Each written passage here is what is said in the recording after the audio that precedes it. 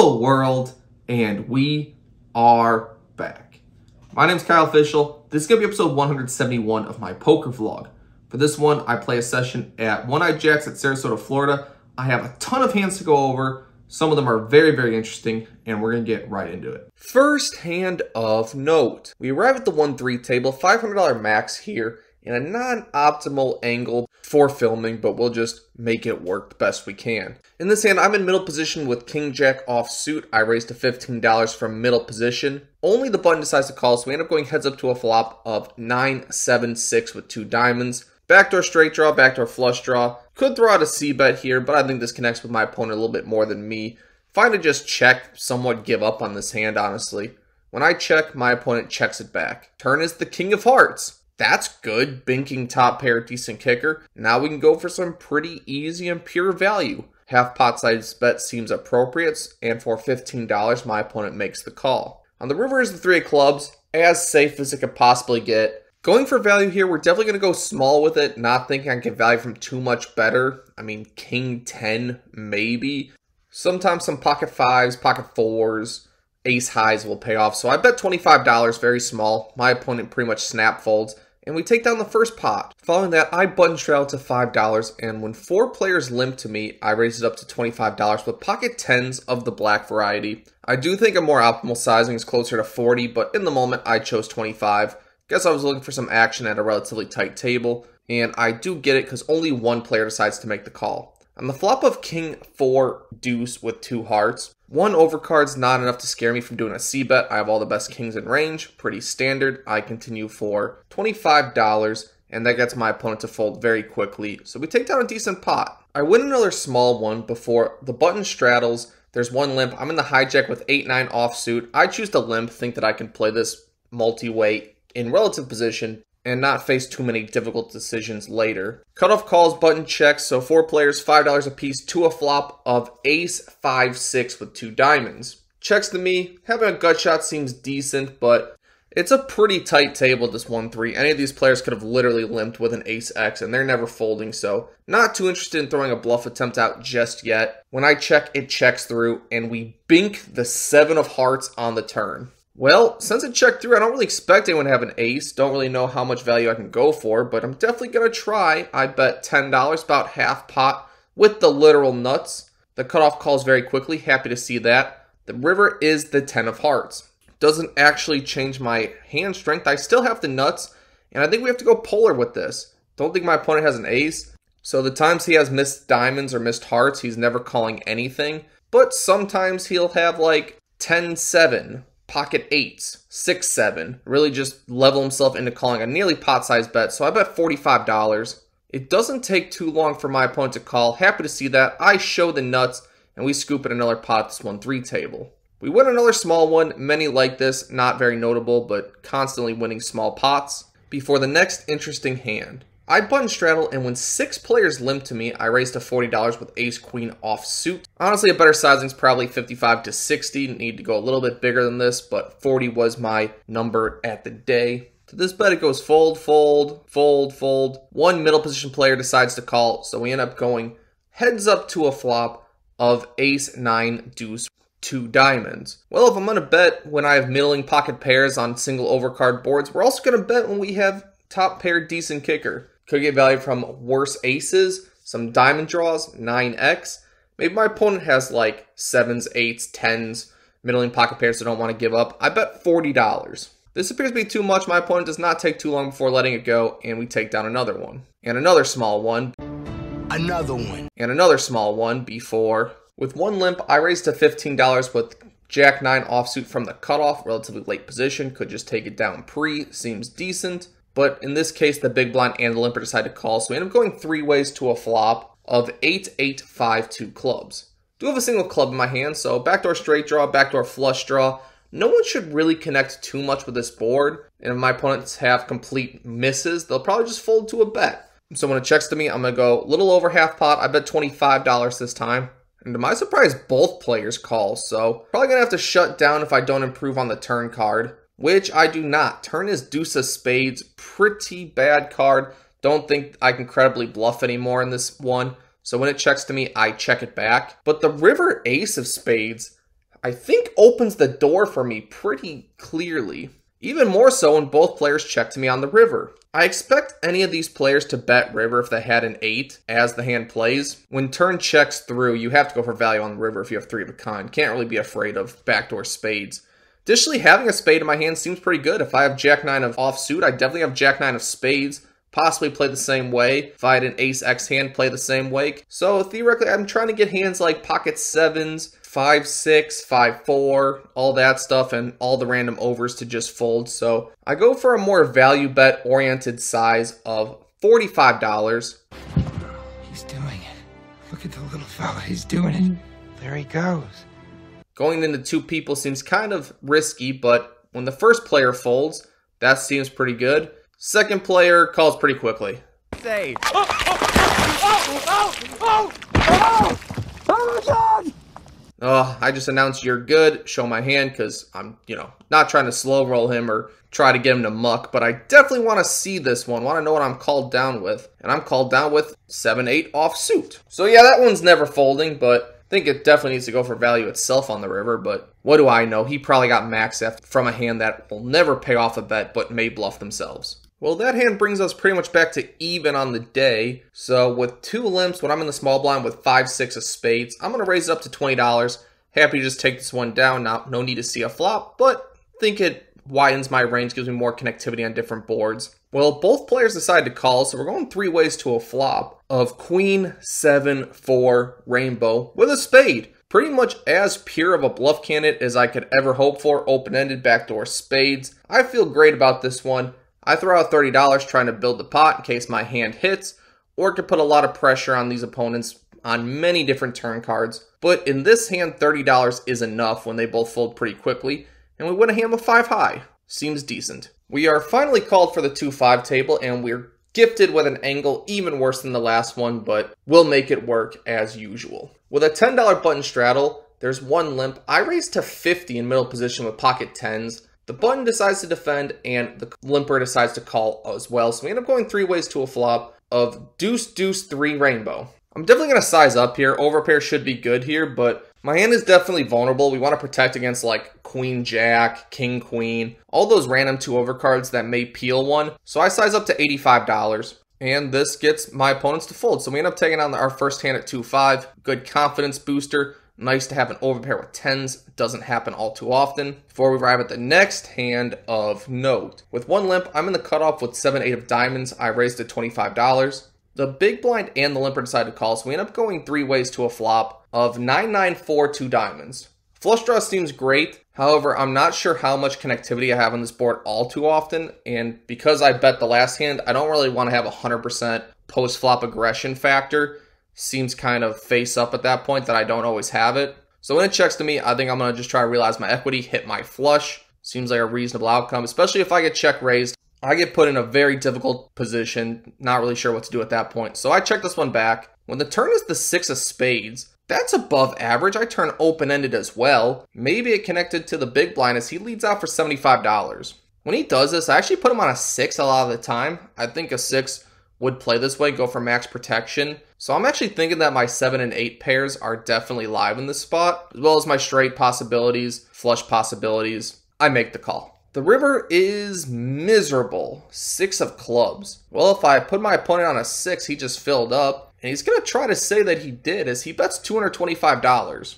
Well, having eight high and pretty much the worst hand I could possibly have here seems bad. I want my opponent to have a bluff candidate just like the one I have, so he's kind of weighted towards value, I'd say. Either way, this one's going to just be a fold. Not too much to talk about. But it's funny when my fold, my opponent shows deuce three of clubs for nothing. Actually had the best hand, which is kind of funny. If you're going to show a bluff, you're likely to make the vlog. Next hand of note. I have ace king of spades in middle position, and when an early position player raised to $15, there's one call. I'm going to three bet this one. I make it $75. Only the big blind decides to call, and the early position opener and caller decide to fold. So we end up going heads up to a flop of queen 5-6 with one spade. Not my favorite board, would have loved to be king or ace high, but I think my opponent misses this just as much as me. I chose a passive line on the last one, got punished for it, so we're going to be aggressive this time. I continue for a half pot size bet, $75. My opponent makes the call. Really not happy to see this one. And the turn is the deuce of hearts. Also on the worst end of the spectrum on turn cards, no backdoor spade, no straight card completing. Really bad, but I think my opponent has plenty of middling pocket pairs, maybe a 6x, pocket 7s, pocket 8s. Plenty of hands that I'll call one bet and fold to a second one. Especially because he cold called from the big blind. Like, how strong can his hand even be? Versus I'm a 3 better from relatively early position versus a lot of action. Could easily have aces, kings, pocket queens for the almost nuts. So we're going to try to rep one of these strong hands on this one. I bet $200 and my opponent, I guess, believes me on this one. He lets his hand go, and we take down another one with ace high. Next hand of note. I look down at ace queen offsuit, both black, from the big blind, and with two limps, the button raised to 30. I don't really like playing 3-bet pots out of position with these types of holdings. I think I'd rather do a little bit of pot control, so I choose to just call this one. The two other limpers decide to call as well, so we end up going three ways to a flop of 10-8-3 with two diamonds. On this one, a middle position opponent just leads out for $25. This is usually indicative of someone on a draw trying to name their own price. And based on that knowledge alone, ace high is definitely good. I could raise here and just try to steal the pot right now, but I still have to play the rest of the hand out of position, so that kind of handcuffs me. When the button decides to fold, I do think I'm ahead of this later position player's range, so I decided to make the call. The turn is somewhat of a brick. It's the eight of hearts, and as we're heads up, I check it to my opponent and he bets $25 again. I do think if my opponent had Jack 9 off suit, any two diamonds, 9 7, all of that, he may do this exact line. His draw did get worse, so I don't expect him to try to amp up the aggression, but definitely naming his own price seems to make sense here. So I choose to make the call a second time. On the river 5 of clubs, I checked to my opponent and he bets $180. In this spot, I think there's just a mountain of bluffs that my opponent could have that would have to do this exact line to try to win. Jack 9 whiffed, 9 7 whiffed, all diamonds whiffed. I do block Queen Jack specifically, which is not great. I guess Ace King would be a better candidate to call down here with, but either way, sometimes you have to put your cape on, be a hero, and say this opponent has way too many bluffs not a whole lot of credible value hands that play this way, so I stick in the call. Because that's what heroes do. And immediately gets shown ace 8. Well, that's not how that one was supposed to end. That's what. But sometimes when you hero call, you look like a genius. Other times, you look like an absolute fool. Finally got a decent seat at the table for the vlogging aspect of poker. Before I looked down at ace king of clubs, and with one limp, the hijack player from the last hand raised to $20. I make it 80 because I have ace king suited and this time I'm in position, so it seems like a reasonable 3 bet. The player who made it 20 is the only caller, so we end up going heads up to a flop of jack 6 4 rainbow, one club. When my opponent checks to me, I decide to check this one back. Plenty of backdoor potential, straight draw, flush draw, overcards, hate to get blown off my equity, would check ace jack, pocket jacks, and all over pairs, at least at some frequency on this board, so I'm not even capped by checking here. When I check it back, the turn is the eight of clubs. Beautiful sight, pick backdoor nut flush draw, feels good. My opponent bets $75. I do think this board connects pretty heavily with his $20 calling a three bet range, so we're gonna just call this one, try to connect, try to realize some equity make the nuts. When I call, the river is the 10 of diamonds. So we are left with a very miserable ace high, and my opponent bets $175. As even though we're in a different seat, this is the same opponent from the last hand. Last time he bet Big River, he had it, and I paid him off with Ace High. Not going to do on this one. I also think the situation is quite different on this one. I let it go. Somewhat disappointed. Could not make a flush, and my opponent does not show, so we'll never know. Next hand of note.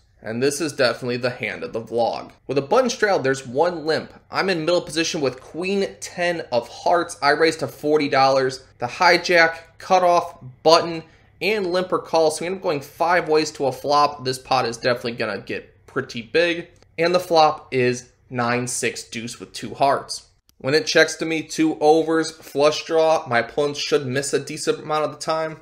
I have a lot working for me on this one, so I continue for $110. Little over half pot, and I would love to just take this down now, not need to realize some equity because I've not been realizing it. Feel good after one fold, two folds. Oh, the button decides to call. That's disappointing. Would love to at least play in position the rest of the hand. But the blind decided to fold as well. So we end up going heads up to a turn card, which is the five of spades. Doesn't help me. Doesn't even give me a backdoor straight draw. But we're not going to give up on this one. This one's going to be the time we choose an aggressive line, an aggressive route. Think it's going to be difficult for a random 9 to hold on, random 6. Pocket 7s, pocket 8s may be a little too sticky after they pick up a gut shot as well, so not expecting them to fold all too often, but if my opponent was peeling with like 10 jack, king queen, just overs and position, maybe he'll fold to a $250 bet. My opponent thinks for quite a long time when I put this out there. He actually asked me if I'm recording.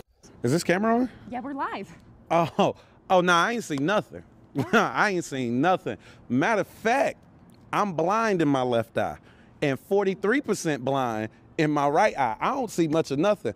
A matter of fact, I can't even see you, sir. Think he's kind of interested in making the vlog. Disappointed to see that as that somewhat indicates that he's going to call super light and just try to make the vlog, which is not the outcome we're looking for when we have queen high. Eventually, my opponent settles on a call. This pot's getting massive. Can I see a heart dealer to make my entire session one time? No. King of clubs. Now a decision point. Is this a card to bluff at? I have thrown two barrels with ace king high before. I could have king queen of hearts, ace king of hearts, obviously, pocket kings. There are plenty of kings in my range here that I think rivered a very strong top pair and might consider putting out a bet here. But I actually think in general, if I had ace king, I'd probably go for just showdown value here. Additionally, this opponent with his questions I really thought was just in a hero calling down mood. So based on speech play, was not really expecting to get my opponent off a pair on this one as I assume they just really wanted to make the vlog. So I check it, giving up, waving the white flag.